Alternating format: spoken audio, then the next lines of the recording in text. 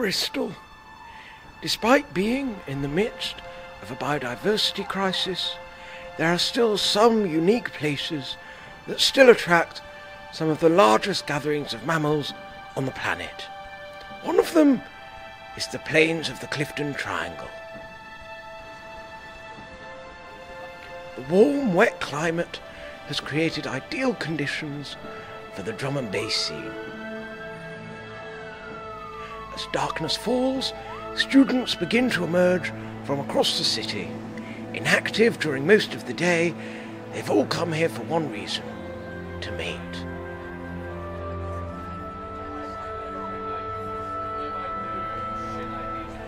Nightclubs like these are found across the world, but here in Bristol, they attract students in astonishing numbers. Running high on both hormones and drugs, they come out in full force to seize the spoils of the night. The most common species to gather at the rutting ground of Gravity nightclub is the Stochus bishoperium.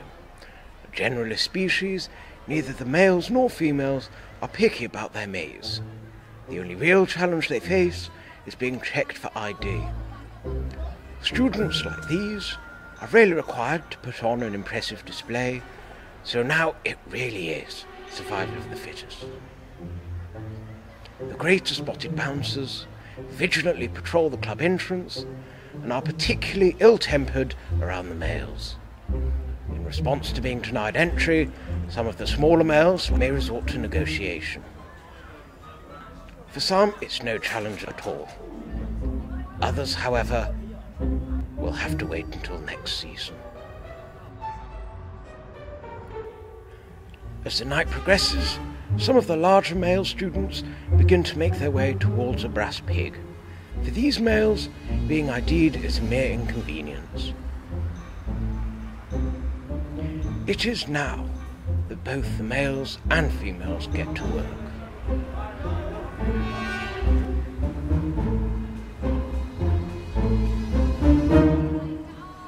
But not all the males can rely on size and vibrant plumage alone. They require riz, a behaviour involving males at least pretending to be interested in what the females are saying. This seasoned alpha male has seen it all before, but Riz requires patience.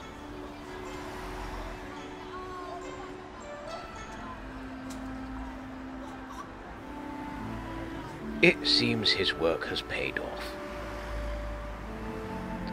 For some pairs, courtship is a slow process. Others, however, waste no time.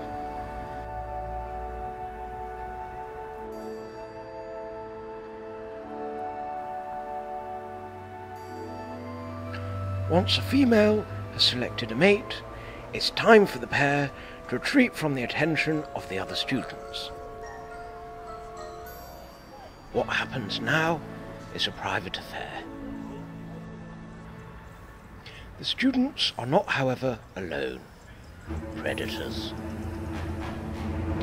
Students will face many challenges on their journey to the club, none, however, as perilous as the Triangle's K-Hole Corner. Named after its many claimed victims, we're only now discovering the treacherous conditions this stretch of habitat conceals. Having come so close, they can go no further. But where prey are vulnerable, predators are always close by. Stalking the streets of Bristol, these nocturnal apex predators are in search of the night's natty students. Armed with sharp latex gloves and an impenetrable high-vis shell, they have claimed their first Stochus bishoperium. Sensing nearby danger, the other students scramble to save their fallen members of the troop. A whole Stochus bishoperium can sustain these apex predators for up to a week, and in this harsh environment, the odds are not in the student's favour.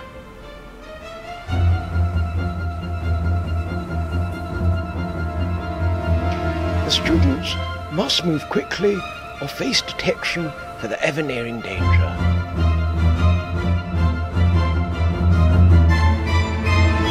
It's now or never. For this male, the perils of the K-hole corner are just too extreme. With no other option, his troop is forced to abandon him. Sensing his weakness, the apex predators draw ever closer. But it's not over yet. Summoning the last of his strength, the young male makes a desperate break for cover.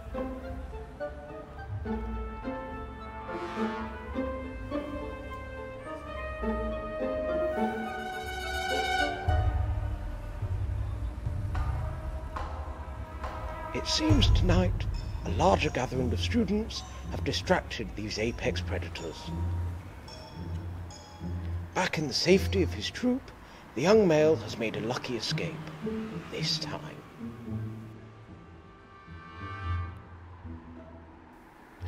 Tonight, the predators have their eyes on more nimble targets. After a long night at the rutting ground, the students must now find water and food if they're to survive.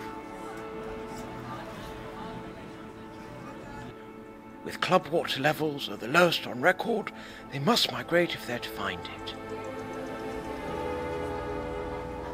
Students are specially adapted to brown kebabs, which are relatively common here in this otherwise barren habitat. And Donnervan's is one of the best places to find them. At large feeding sites like these, food is plentiful and competition becomes less tense. For now.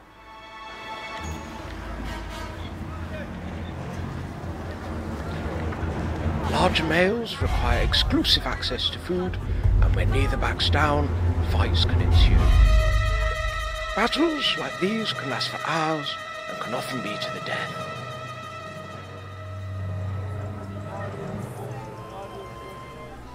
Once the fighting males have dispersed, other students can return to their kebabs in peace. On the pavements of Queen's Avenue, females reconnect after a night of pretending to ignore one another. Now that the students have done what they came here to do, they must now return to the safety of their nesting grounds in the North Village. Students densely flock together to catch the U1 current. A national phenomenon, this is the largest migration of students anywhere in the country. Despite their differences as rivals in the club, this is a special time for males to reconnect with others they haven't seen all evening.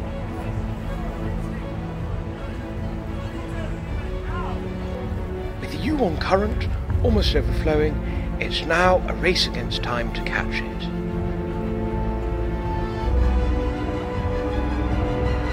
Unfortunately, not all the students will make it.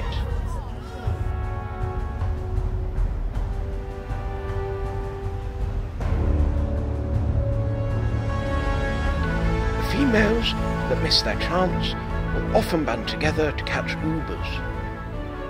And when they hunt as a group, these Uber drivers stand no chance.